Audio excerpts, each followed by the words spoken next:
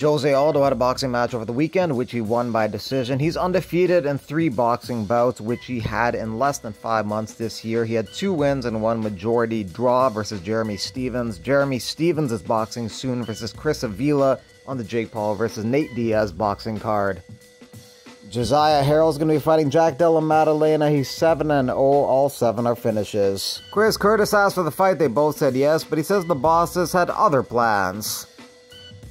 Kevin Holland also asked for the fight, but it's cheaper for the UFC to have this new guy fight for 10k and a couple cans of Monster Energy to get KO'd by Maddalena. Other predictions for the card Volkanovski to beat Yair Rodriguez 50 45, 50 45, 49 46, and Moreno to beat Pantoja 49 46, 49 46, 48 47.